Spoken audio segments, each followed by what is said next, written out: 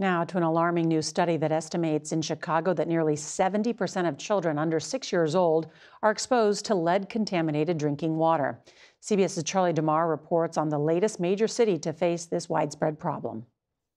Tonight, danger lurking in Chicago's drinking water, according to a new study that used AI to estimate lead levels in unfiltered tap water over a seven year period.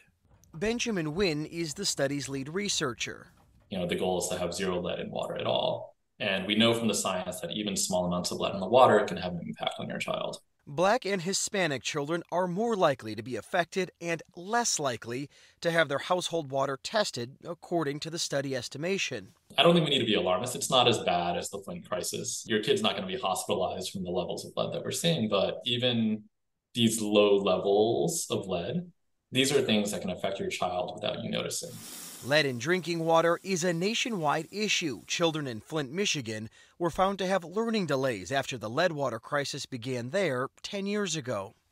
Today, Chicago's Department of Water Management told CBS News it has an issue with the study's methodology, saying its results only indicated whether there is a lead service line, not routine exposure. Chicago environmental advocate Shakina Perry is calling on the city to immediately replace lead water pipes. So not only is this a public health crisis, but it's also an environmental justice issue. And so when you look at it through that lens, um, that should create a sense of urgency to say that we can't wait any longer.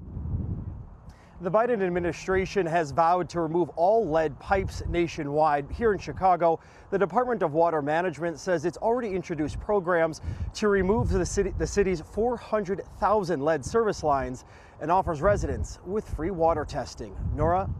Charlie De Mar, thank you.